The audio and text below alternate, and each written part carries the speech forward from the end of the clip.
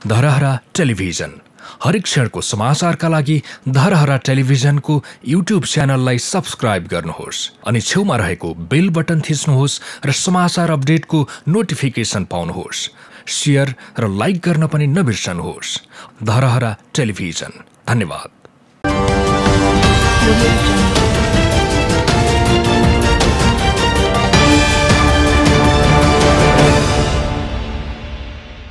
नेकपाका प्रमुख सचेतक देव गुरुङले गोविन्द केसीले उठाएका मागहरू हुबहु सम्बोधन गर्नुपर्छ भन्ने भनाई गलत भएको बताउनु भएको छ। रफत सञ्चार क्लब भक्तपुरमा मंगलबार आयोजित साक्षात्कार कार्यक्रममा बोल्दै गुरुङले केही मागहरू जायज भए तापनि मागका बारे केसीले भने जस्तो हुबहु सम्बोधन नहुने भन्दै यसलाई जनताको सर्वोच्च निकाय संसदले सम्बोधन गर्ने बताउनु भयो चिकित्सा विधेयकका बारेमा जुम्लामा अनसनरत डाक्टर गोविन्द केसीको स्वास्थ्य उपचार सरकारले काठमाडौँ ल्याएर गर्न तत्पर रहे तापनि केसीले नै नमानेको र उहाँको स्वास्थ्यका विषयमा सरकार पनि गम्भीर रहेको बताउनु भयो।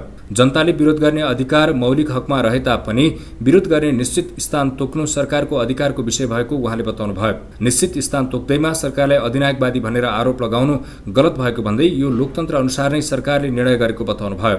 त्यस्तै उपकुलपति कुलप्रसाद कोइरालाको भ्रमण सरकारको स्वीकृत बिना नै भएको देखिएको र विधि अनुरूप नभएकाले यस्तो अवस्था सिर्जना भएको उहाँले दावी गर्नुभयो।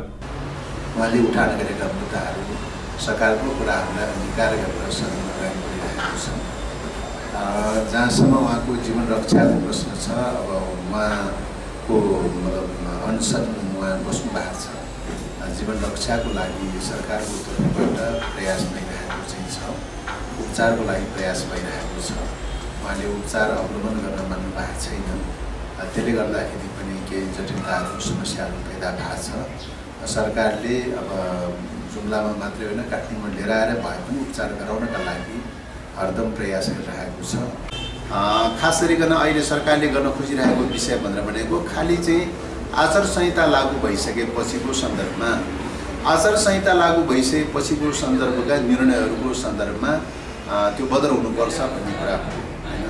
निर्वाचनको सन्दर्भमा आचार संहिता लागू भइसकेपछि तपाईँको एउटा कर्मचारी त सरुवा गर्न पाइँदैन भनेर भन्ने भनिरहेको परिस्थितिमा क्रान्ति नियुक्तिहरू गर्ने भन्ने कुरा चाहिँ त्यो बेठिक हुन्छ। अन्तर्राष्ट्रिय परम्पराको हिसाबले पनि समग्र हाम्रो स्पिरिटको हिसाबले पनि सबै हिसाबले बेठिक हुन्छ भन्ने कुरा हो। त्यस कारणले आचार संहिता लागू भइसकेको परिस्थितिको सन्दर्भको सन्दर्भमा मात्रै हो। मन्त्रालयले पनि सायद एउटा पत्र जारी गरेका छ भन्ने लाग्छ। कुनै पनि पदाधिकारीहरूको सन्दर्भमा नेपाल सरकारले बनाएको मापदण्ड अनुसार कुनै पनि पदाधिकारीको बारेमा विदेश भ्रमणको बारेमा विदेश भ्रमण गर्नुपर्दाको अवस्थामा स्वीकृति लिएर विदेश भ्रमण गर्ने खालको परम्परा र अभ्यास बस्दै आइरहेको अवस्था छ जोसुकैको सन्दर्भमा किन नहोस् मन्त्रीदेखि लिएर कुलपतिदेखि लिएर उपकुलपतिदेखि लिएर सरकारका विभिन्न तह र अङ्गहरूमा रहेका पदाधिकारीहरूको सन्दर्भमा त्यसको एजेन्डा के छ विषयवस्तु के छ के विषयमा भ्रमण गर्ने हो भन्ने कुरा स्वीकृति लिएर गर्ने परम्परा भएको हुनाले सायद उहाँको सन्दर्भमा त्यही केही प्राविधिक रूपले त्यो स्वीकृतिका प्रक्रियाहरू सायद अधुरो रहेको हुनसक्छ अपुरो रहेको हुनसक्छ भन्ने लाग्छ। तिनै कुराहरूलाई चाहिँ नियमसम्म ढङ्गले प्रक्रियासम्म ढङ्गले विधिसम्म ढङ्गले लैजानुपर्छ भन्ने कुरा हो भन्ने देखिन्छ।